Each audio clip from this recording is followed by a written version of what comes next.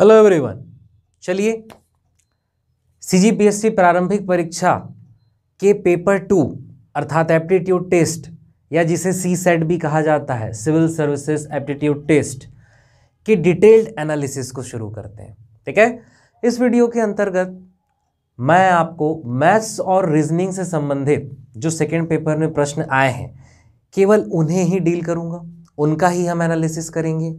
जो कि set A paper two set A से संबंधित प्रश्न संख्या उनचालीस से लेकर सौ तक है। अर्थात कुल बासठ, सिक्सटी टू प्रश्न है, जिसे इस वीडियो के अंतर्गत मैं आपको सॉल्व करके बताऊँगा। और एक प्रॉपर अप्रोच क्या होती है? एक लॉजिकल अप्रोच क्या होती है? मैथ्स और रीजनिंग के प्रश्नों को सॉल्व करने के लिए इसे हम सीखेंगे। मैथ्स और रीजनिंग को बेसिकली हवा माना जाता है। एक प्रकार से कठिन है ऐसा माना जाता है। जैसे कि सी जी पी एस सी के इस पेपर टू के लिए भी अभी यही बातें चल रही है कि बहुत कठिन है, बहुत कठिन है।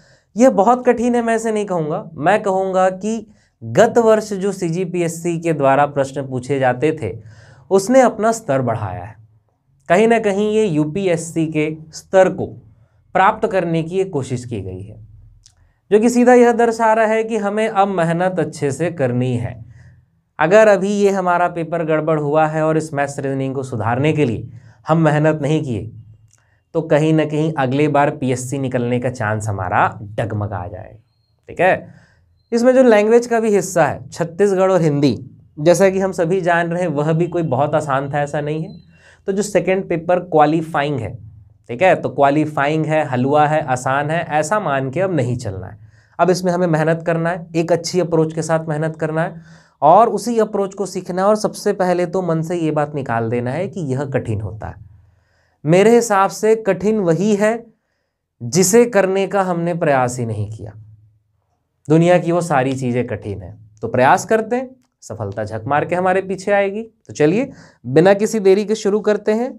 मैं सारे क्वेश्चन आपको सॉल्व करके बताऊँगा, जिसमें मैथ्स और रीजनिंग के अंतर्गत पहला प्रश्न है। Question number thirty nine set A question number thirty nine कह रहा है कि नीचे दिए गए चार विकल्पों में से उस एक विपल, विकल्प को चुनिए जो तीसरे शब्द से ठीक उसी तरह जुड़ा हुआ है। जिस तरह पहले शब्द से दूसरा शब्द जुड़ा हुआ है। यह है रीजनिंग का टॉपिक एनालॉगी ठीक है? एनालॉगी टॉपिक जैसे कि लिखा है, भूटान का संबंध जो नगल्ट्रम से है, वैसे ईरान का क्या संबंध होगा? तो भाई, हमें पता है, भूटान की करेंसी है भूटानीज नगल्ट्रम इसी प्रकार ईरान की करेंसी है रियाल। अब यहाँ पे थोड़ा आपको जी के पता होना चाहिए। अगर नहीं पता तो देखिए दिनार ईरान का नहीं है। यूरो जो है वो यूरोपियन कंट्रीज़ का है। शेकल भी जो है वो फ़िलिस्तीन का है। यहाँ का नहीं है। मतलब ये जी के आपको पता होना चाहिए। तो बच रहा है आपका रियाल।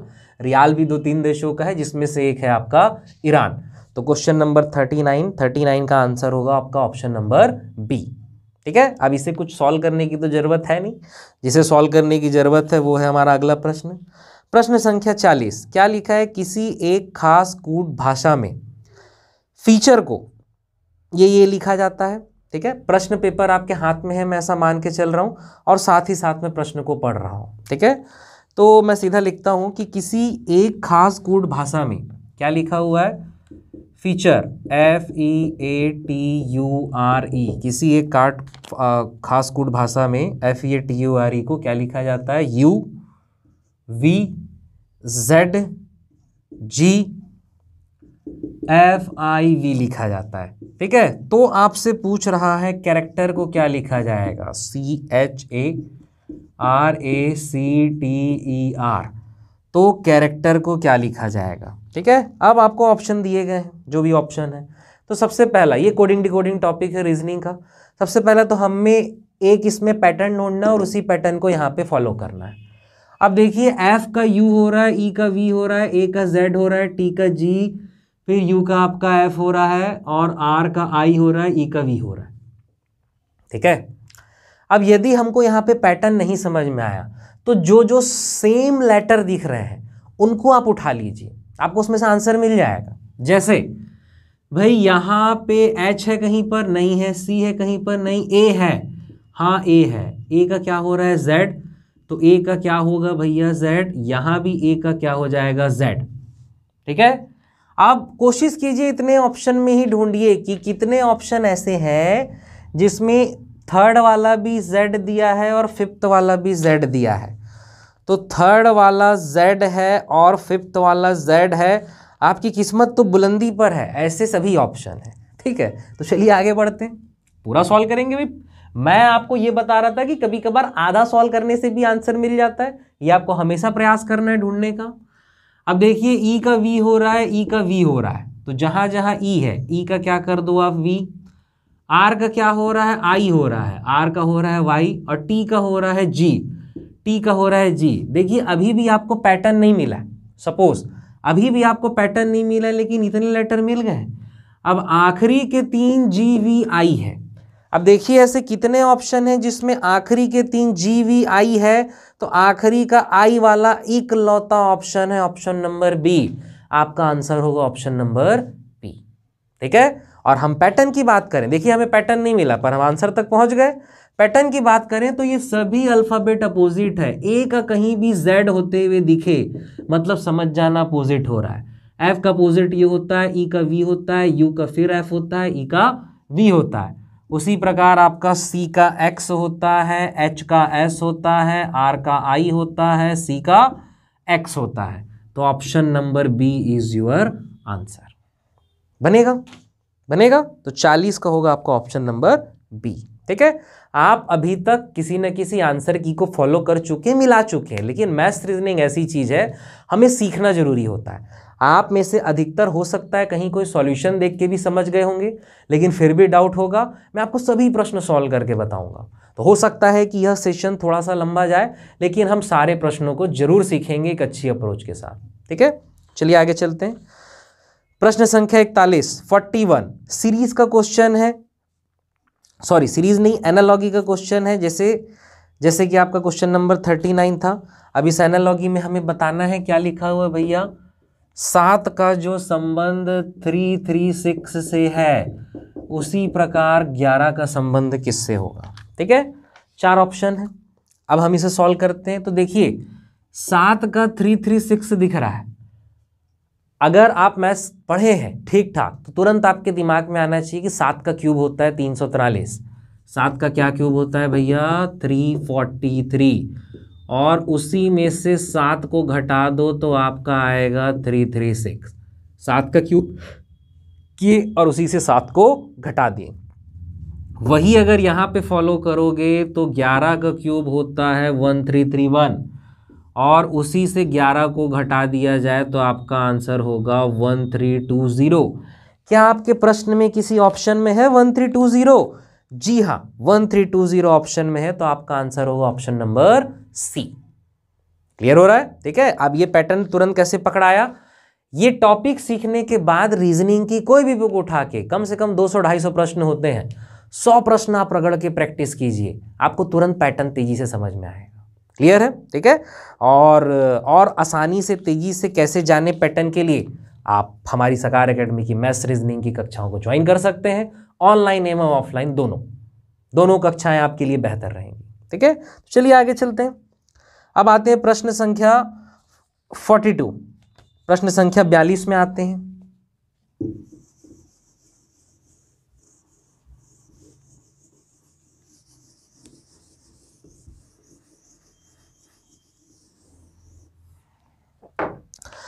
प्रश्न संख्या बयालीस हमें यह कह रहा है कि रवि श्वेता का भाई है, ज्योति नीलम की बहन है। श्वेता रोहित के पिता की पुत्री है, नीलम सुभाष की पुत्री है। ज्योति रवि की माँ है, महेश नीलम की एकमात्र बहन का पति है। सुभाष, रोहित का सुभाष से क्या संबंध है? तो इसमें आपको एक डायग्राम बनाना पड़ेगा। कैसे बनाना है? देखिए, आप सबसे पहले लिंक कीजिए, रवि श्वेता का भाई है। लिख दीजिए, बहुत ही आसान तरीके से लिख दीजिए क्या? ये लिख दीजिए रवि रवि भाई है किसका? श्वेता का। लिख देना है, बहुत ज़्यादा दिमाग नहीं लगाना, एकदम सिंपल तरीके से लिख देना फिर अब रवि और श्वेता से कोई लिंक है क्या? अगला लाइन, ज्योति नीलम की बहन है। यहाँ ज्योति और नीलम तो अभी नहीं बना सकते। श्वेता रोहित के पिता की पुत्री है। हाँ यहाँ पे कुछ लिंक हो रहा है, क्या बोल रहा है? श्वेता जो है एक कोई रोहित है। रोहित के कोई पिता है। उसकी जो पुत्री है, वो श्वेता है। रोहित के कोई पिता है। उसकी पुत्री जो है श्वेता, यानी तीनों भाई बहन हो गए अपने आपस में, रवि, रोहित और श्वेता। आगे पढ़ते हैं। नीलम सुभाष की पुत्री है। अभी नहीं बना सकते यार। ज्योति रवि की माँ है। रवि की जो माँ है, वो ज्योति है। रवि की जो माँ है, वो कौन है भैया? ज्योति है। यानी कि ये ज्योति और ये जो आदमी होंगे इन लोग क्या होंगे भाई? हस्बैंड वाइफ होंगे। सीधी सी बात है ना भाई, इसके इन लोग बच्चे हैं, ये माँ है तो हस्बैंड वाइफ ही तो होंगे ना, कानूनन तौर पे। तो हस्बैंड वाइफ है। फिर लिखा है, महेश नीलम की एकमात्र बहन का पति है। महेश नीलम की एकमात्र बहन का पति है। ज्योति रवि की माँ है। अच्छा ज्योति मिल गई, अब फिर दूसरी लाइन में हम आते हैं। ज्योति जो है नीलम की बहन है। ज्योति जो है, वो नीलम की क्या है भैया? बहन है। ज्योति जो है नीलम की बहन है। ये दोनों आपस में बहन है, ठीक है? और एक लाइन छोटा होगा जिससे अब ये पूरा हो जाएगा। तो पहला रवि श्वेता का भाई है, हमने बना लिया। ज्योति नीलम की बहन है हमने बना लिया, श्वेता रोहित के पिता की पुत्री हमने बना लिया नीलम सुभाष की पुत्री है। नीलम जो है भैया, वो सुभाष की पुत्री है। नीलम जो है वो कौन है? सुभाष की पुत्री है। ज्योति रवि की माँ है हमने बना लिया। महेश नीलम की एकमात्र बहन का पति है। नीलम की एकमात्र बहन और इसका पति तो ये है खाली स्थान। यानी कि ये खाली स्थान ही कौन होगा? महेश। नीलम की एकमात्र बहन का पति है, ठीक है? तो रोहित का सुभाष से क्या संबंध है? ये है रोहित, ये है सुभाष, यानी सुभाष की बेटी की बहन, यानी सुभाष की बेटी का पति, यानी कि ये क्या है भैया? नाती है। और नाती की जगह यहाँ पे क्या लिखा हुआ है? पौत्र, ठीक है? यानी कि ग्रैंड सन तो आपका आंसर क्या होगा भैया? ऑप्शन नंबर बी पौत्र। बहुत ही आसान तरीके से बनाना है। कोई तीन पाँच दिमाग ट्रिक कुछ भी ऐसा इसमें नहीं सोचना है। बनेगा? चलिए, आगे चलते हैं। अब है प्रश्न संख्या तिरालीस और चवालीस के लिए निर्देश। देखिए, निर्देश वाले क्वेश्चन जो होते हैं, जो एक कहानी से दो या दो से अधिक प्रश्न बनते हैं, इन्हें तो ज़रूर बनाना चाहिए। क्यों? क्योंकि इसमें समय आपको एक बार देना होता है, लेकिन प्रश्न ज़्यादा बनते हैं। ठीक? तो ये है आपका डायरेक्शन से संबंधित है A B C D E F G H I नौ बिंदु है। चलिए, कहानी पढ़ते जाते हैं और इसे हम सॉल्व करते जाते हैं। ये प्रश्न आपके पास है ऐसा मैं उम्मीद रख रहा हूँ, ठीक है? तो प्रश्न लिखा हुआ है A B C D E F G H और आई नौ बिंदु है। फिर आगे कहानी लिखा हुआ है अरेंज उन्हें कर रहा है। हम अरेंज करते हैं।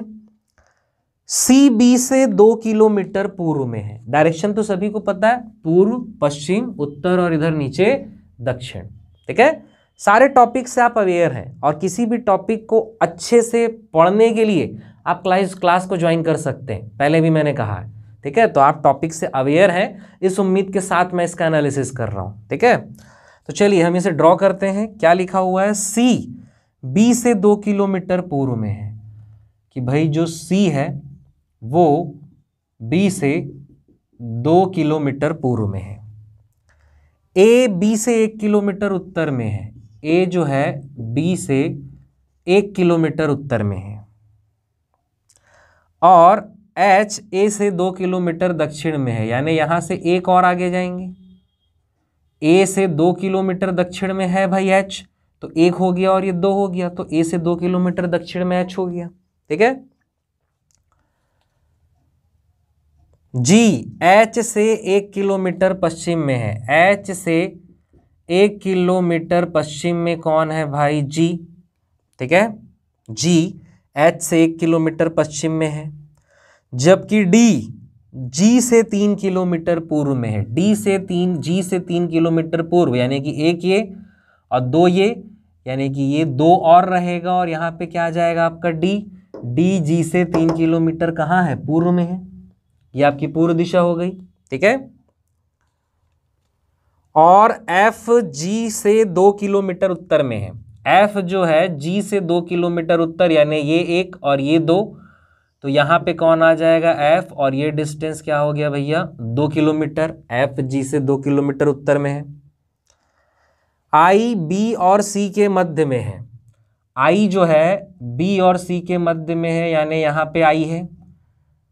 यहाँ पे आई बना दो और ई e, एच और डी के मध्य में है। ई e जो है एच और डी के मध्य में है।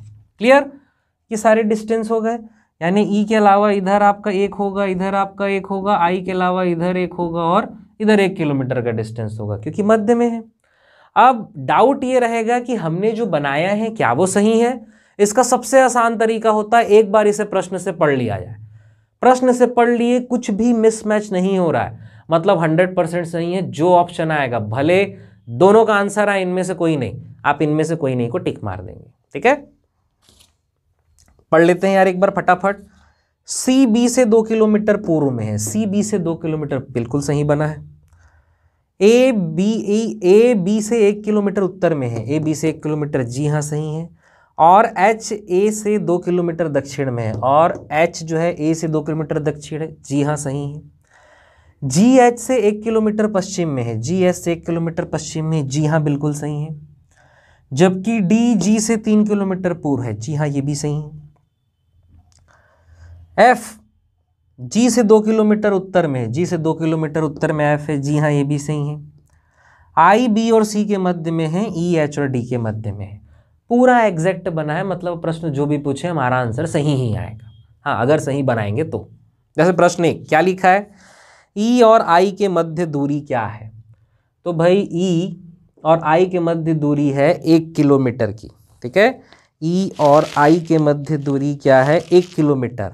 आपका ऑप्शन है पहला तीन, दूसरा दो, तीसरा सी यानी पाँच, और ऑप्शन नंबर डी इनमें से कोई नहीं। भाई, ई और आई के बीच दूरी पूछ रहा है, ये ई है और ये आई है, और ये दूरी कितना है भैया? एक किलोमीटर का ही दूरी है। एक किलोमीटर है क्या ऑप्शन में? नहीं, इनमें से कोई नहीं टिक मार देना है। जनरली इनमें से कोई नहीं ऑप्शन मिलता है तो हम घबरा जाते हैं, पर हम तो दो दो बार पढ़ के चेक कर लिए ना भाई। घबराने की ज़रूरत नहीं है। Option number D, forty three का। फिर 44 ई e और एफ़ के मध्य क्या दूरी है? ई और एफ़ के मध्य दूरी हमें निकालना है। यानी कि हमें ये डिस्टेंस निकालना है। ई e और एफ़ के मध्य दूरी, यानी कि हमें एक तिरछी दूरी निकालना है, अर्थात पैथागोरस थ्योरम लगेगा। ये आपका राइट एंगल ट्रैंगल समकोण त्रिभुज बनेगा, जिसमें ये कर्ण होगा, ये लंब होगा, ये आधार होगा, ठीक है? तो कर्ण का वर्ग, कर्ण का वर्ग यानी कि क्या? ई e एफ़ का वर्ग बराबर आ जाएगा क्या? ई e जी का वर्ग प्लस जी ई का वर्ग। E F sorry E F का वर्ग बराबर एफ़ जी का वर्ग प्लस जी ई का वर्ग। यही है पैथागोरस थ्योरम इस त्रिभुज में लगा दिए हम जी ई एफ़ त्रिभुज में, ठीक है? तो ई e एफ़ का वर्ग, यही ई एफ़ तो हमें निकालना है। E F is equal to क्या होगा? रूट ओवर अब एफ़ जी की लंबाई क्या है? दो का वर्ग। धन। जी ई की लंबाई क्या है? एक और एक कितना? दो। का वर्ग, यानी कि क्या आ जाएगा? रूट ओवर चार प्लस चार, यानी कि ई एफ़ बराबर रूट ओवर आठ, यानी कि क्या? टू रूट टू क्या टू रूट टू कहीं किसी ऑप्शन में है? तो हाँ फोर्टी फोर का option number C forty four का option number C two root two is your answer बनेगा? बनेगा? चलिए, आगे चलते हैं। फोर्टी फोर के बाद आते हैं क्वेश्चन नंबर फोर्टी फाइव और फोर्टी सिक्स। दोनों सेलोगिज्म का क्वेश्चन है। हिंदी में इस टॉपिक को न्याय कहते हैं। बहुत ही सरल प्रश्न आया है। देखते हैं इसे।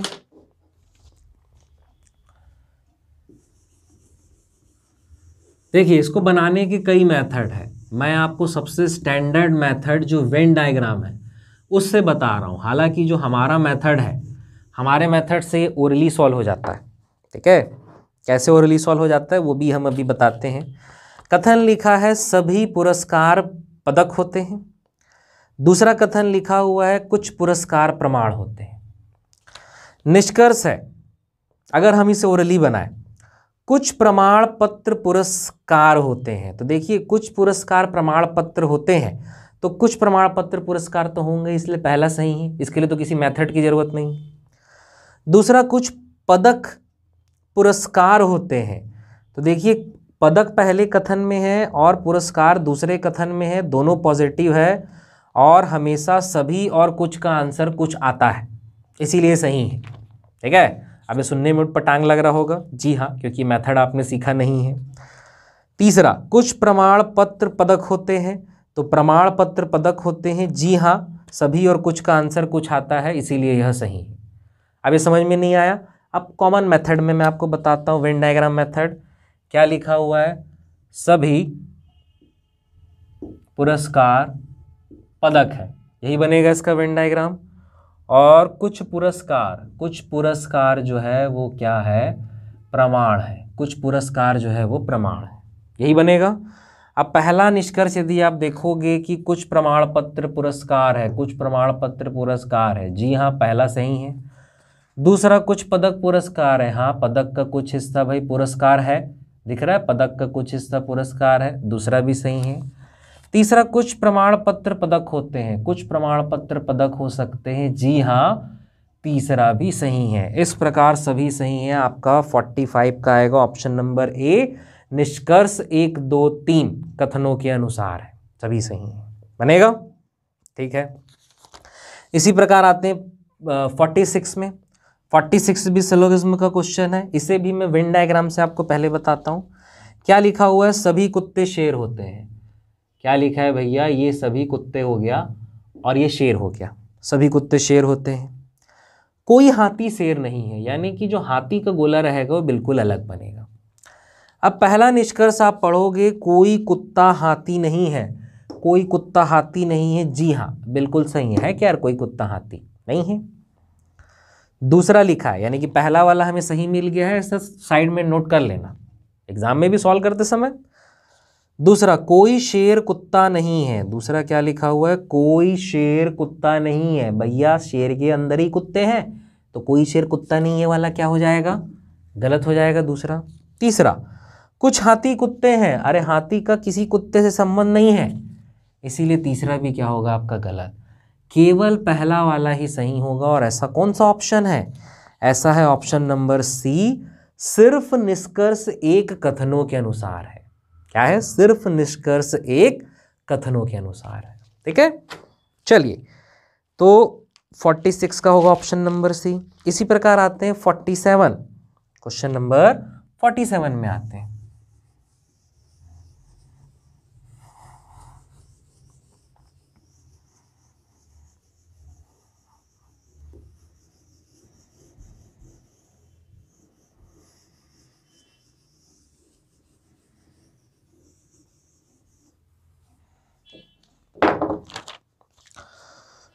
फोर्टी सेवन में ये भी कोडिंग डिकोडिंग का ही क्वेश्चन है। इसमें क्या कह रहा है कि आर्मी को A R M Y army को किसी कोड भाषा में five nine zero six five one two five लिखा जाता है।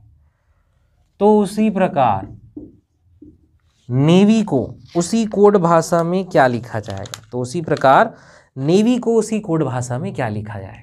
ठीक है? तो देखिए, हमें यहाँ पैटर्न पहचानना है, उस पैटर्न को फॉलो करना है।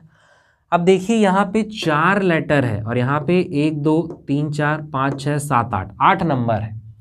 यानी कि इनके कोड से ये कोड नहीं बन रहा है। उस कोड के साथ कुछ ना कुछ कैलकुलेशन हो रहा है। तभी ये बन रहा है। क्योंकि भैया ए के आगे पीछे फाइव और नाइन तो होता नहीं। आर के आगे पीछे ज़ीरो और सिक्स तो होता नहीं। है भाई आर का कोड अट्ठारह होता है, अट्ठारह को कुछ भी करो ज़ीरो सिक्स नहीं आएगा। तीन से जबरन थोड़ी ना भाग दे दोगे। अच्छा मान लो तीन से भाग दे रहे हो तो ए का फाइव नाइन तो ऐसा आना नहीं है। तो भाई, इनका, इनके कोड से डायरेक्ट कोई रिलेशन तो नहीं है। ये बात तो तय है। हाँ लेकिन जो है कोड से है, क्योंकि नंबर से ही क्या बन रहा है आपका? अल्फ़ाबेट से ही क्या बन रहा है नंबर अब मैंने बताया था कोडिंग डिकोडिंग में हमेशा क्या करना, कि जो दिया है पहले उसी को पकड़ना। जैसे यहाँ पे ए है और यहाँ पे क्या है आपका? फाइव है और फाइव नाइन है। वैसे ही यहाँ पे वाई है और आखिरी में पच्चीस है और एक सौ पच्चीस है। तो यहाँ वाई है और आखिरी में पच्चीस और एक, समझ लो एक सौ पच्चीस। ऐसे कितने ऑप्शन है जिसमें आखिरी में पच्चीस और एक सौ पच्चीस है? तो भाई ऐसे दो ऑप्शन है। ऑप्शन नंबर बी और सी जिसके अंत में क्या है आपका? 25 और 125 है। क्लियर हो रहा है? ठीक है? ठीक है भाई।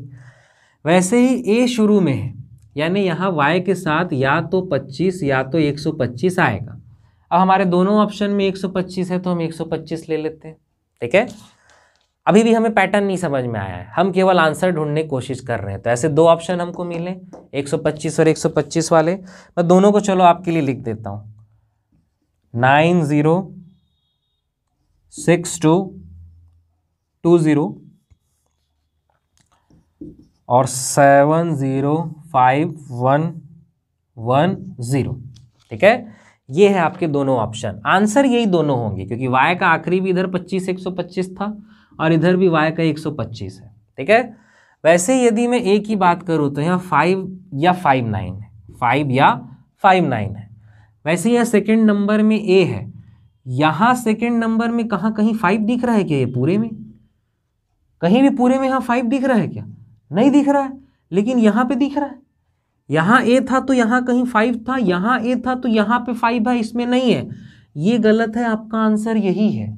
और ये है आपका क्या? ऑप्शन नंबर सी डेफिनेटली आपका आंसर यही है। आप इसके साथ आगे बढ़ सकते हैं और ध्यान देंगे, अभी तक पैटर्न नहीं मिला है ना? हमने केवल एक तुक्का भिड़ाया है, एक लॉजिकल अप्रोच फॉलो की है आंसर को ढूँढने के लिए, लेकिन पैटर्न अभी तक नहीं मिला है। अब चलिए अब मैं आपको पैटर्न बताता हूँ और ये पैटर्न कैसे पता चलेगा? ज़्यादा से ज़्यादा प्रैक्टिस करके। देखिए, बिना मेहनत के कुछ नहीं मिलता। मेहनत करना पड़ेगा। हमें पैटर्न फट से क्यों दिख गया? क्योंकि ढेर सारे प्रश्नों का हमने प्रयास किया है प्रैक्टिस किया है, ढेर सारे प्रश्नों को सॉल्व करने का प्रयास किया है। ठीक है? तो इसका पैटर्न है ए ए का कोड क्या होता है? वन। और सभी में क्या हो रहा है? पाँच का गुणा। तो पाँच एकम पाँच। आर का कोड होता है अट्ठारह। अट्ठारह में पाँच का गुणा यानी कि क्या? नब्बे। एम एम का कोड होता है आपका तेरह। तेरह में पाँच का गुणा यानी कि पैंसठ। वाई का कोड होता है पच्चीस और पच्चीस में पाँच का गुणा यानी कि एक सौ पच्चीस। ठीक है? तो उसी प्रकार यहाँ पे भी आपका हो रहा है क्या? अब ये वाला तो नहीं होगा। तो एन एन का कोड होता है चौदह। तो चौदह पंचे सत्तर। उसी प्रकार ए ए का कोड होता है एक तो एक पंचे पाँच। वी वी का कोड होता है आपका बाईस तो बाईस पंचे एक सौ दस और वाई का पच्चीस पंचे एक सौ पच्चीस। ये है आपका पैटर्न ठीक है? तो सर, हम कैसे पकड़ेंगे पैटर्न वही जवाब ज़्यादा से ज़्यादा प्रश्नों का प्रयास करें और अपनी मैथ्स और रीजनिंग की लॉजिकल अप्रोच को स्ट्रॉन्ग करने के लिए, सीखने के लिए, अच्छे अच्छे तरीके मैथ्स और रीजनिंग के सीखने के लिए आप सकार एकेडमी को ज्वाइन कर सकते हैं। मैं ही वहाँ पे आपको पढ़ाऊँगा मैथ्स, रीजनिंग, ठीक है? अब मेरी गारंटी है कि C G P S C Vyapam even railway जैसे एग्ज़ाम में जो प्रश्न पूछे जाते हैं आप 90 परसेंट प्रश्न गारंटेड सही बना के आएँगे। 100 में से 100 हम भी नहीं बना सकते, क्योंकि कम, हमेशा कोई ना कोई नया प्रश्न आपको एग्ज़ाम में दिखेगा। लेकिन 90 प्रतिशत प्रश्न आप हमेशा सही बनाएँगे, ठीक है? तो चलिए इसी में आगे बढ़ते हुए, आगे जो हमारा प्रश्न है, वो है प्रश्न संख्या 48 टू 52 ये पाँच प्रश्न हैं और ये पजल है, ठीक है? इसको बहुत प्यारी सी अप्रोच के साथ मैं आपको बताऊँगा। बहुत कम समय लेते हुए और उस समय को देने से सीधे पाँच प्रश्न सॉल्व होंगे। इसीलिए पजल को देखते साथ सॉल्व छोड़ नहीं देना है। कुछ लोगों का कहना है कि यह गलत है। आयोग का आंसर चेक किया जाएगा, लेकिन ये कुछ भी गलत नहीं है, बिल्कुल सही है। क्या है, कैसा है, कैसे सॉल्व होता है पजल को सॉल्व करने की क्या एक्चुअल अप्रोच होनी चाहिए, इसे हम देखेंगे अगले वीडियो में। ठीक है? तो देखिए भाई एप्टीट्यूड है। ये जी एस जैसा नहीं है कि हम 20 मिनट में 20 प्रश्न कर सकते हैं। एप्टीट्यूड है, प्रश्न को बनाने, समझाने और समझने में समय लगता है। तो इसे हम धीरे धीरे करके वीडियो में देखेंगे। मैं इसे और एक घंटे या तीन घंटे के वीडियो में भी मैं इसे एक साथ बना सकता हूँ, लेकिन नहीं। आप भी आराम से देखिए। हम इसे छोटे छोटे वीडियो के माध्यम से देखते जाएँगे। ठीक है? तो चलिए आज के लिए मैं इतना ही रखता हूँ। अगली क्लास में या अगले वीडियो में हम प्रश्न संख्या अड़तालीस इस पज़ल ये जो हरे, नीले, गुलाबी, काले रंग की जो पज़ल है बॉक्स वाला, इससे हम आगे बढ़ेंगे। ठीक है? तो चलिए, आज के लिए मैं इतना ही रखता हूँ। आप जो प्रश्न को देखे हैं, मैं आशा करता हूँ कि आपको बहुत कुछ सीखने को मिला होगा। ठीक है? जो एग्ज़ाम दे चुके हैं, उन्हें पता चला होगा कि क्या गलतियाँ हमने की है और जो आगामी परीक्षाओं में सम्मिलित होने वाले हैं, उन्हें बहुत कुछ सीखने को मिला होगा कि हमें किस अप्रोच को फॉलो करना है और क्या गलतियाँ नहीं करनी है। आपको यह वीडियो अच्छा लगा है तो ज़रूर इसे लाइक करें शेयर करें, अपना रिव्यू कमेंट करें।